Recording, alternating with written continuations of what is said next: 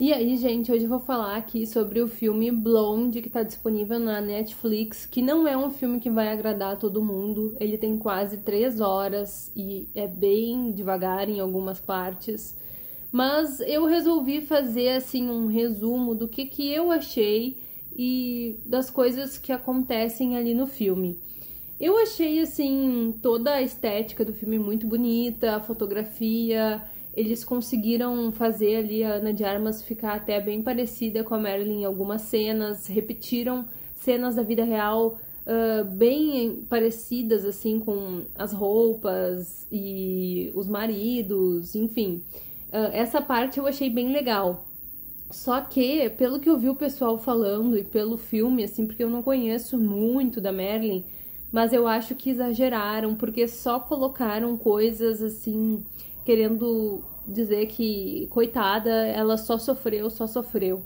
Eu não sei, podem me julgar aqui e me falem se eu estiver errada, mas esse filme parece que só quis mostrar isso, não mostrou nenhum lado positivo, nenhuma felicidade, porque as felicidades que ela tinha era de engravidar e ela não conseguiu manter nenhuma gravidez e teve que tirar uh, um filho também.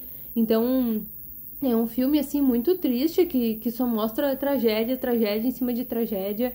E aí fica bem pesado, assim, de se assistir como um filme ok. Porque não é bem uma biografia, porque ele é baseado num livro que foi escrito sobre a Marilyn. Não é exatamente, assim, né, a biografia.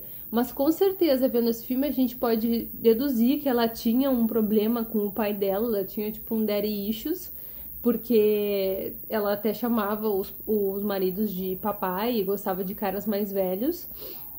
E se comportava assim como se eles fossem pais.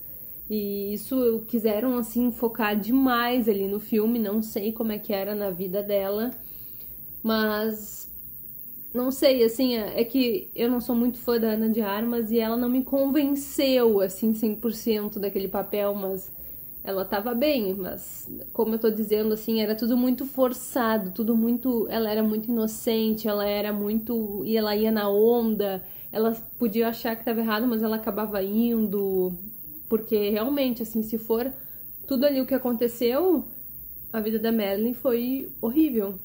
Então, não sei, não sei. Mas eu gostei do filme, assim, foi um filme bem interessante de ver, bem produzido, cheio de de histórias, mas não sei se todas são reais, bem reais, ou aumentaram um pouquinho para dar aquela, né? Mas é isso aí.